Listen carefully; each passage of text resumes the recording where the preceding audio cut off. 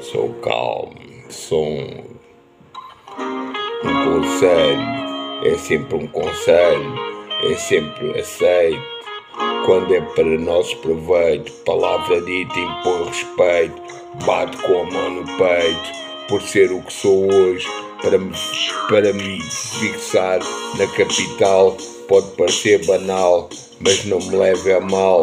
Distante da família e dos amigos de infância, meu pai disse: ganha distância do que foste para cresceres e voares e poderes ser digno neste turbilhão que a vida é dura de se fazer, porque sem sacrifício e esforço nada se conquista, nada se consegue. Estou na luta a lapidar minha alma, ela proclama e clama por purificar-se, pacificar-me, e nela me inspiro e vivo esperança de alcançar o melhor que a vida detém.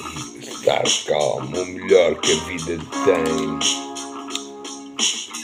Procuro e busco compromissos, batalho e cumpros para receber benefícios.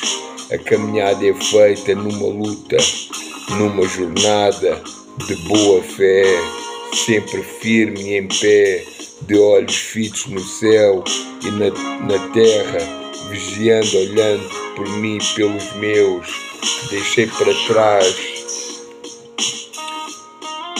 deixei para trás aqueles dias amargos de muitos sofrimentos, de calafrios. Nesta etapa também tenho desafios e encaros cara a cara. Tenho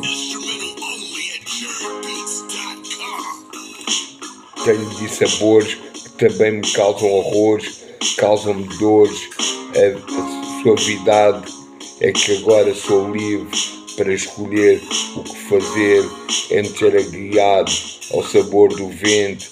As escolhas não eram tão assertivas, o resultado agora final é sempre ótimo. Vou em frente e vejo que a vida tem um outro sabor. É é apetitível, é perseverável, é agradável. Viver com este, com, desta forma é outra maneira de estar.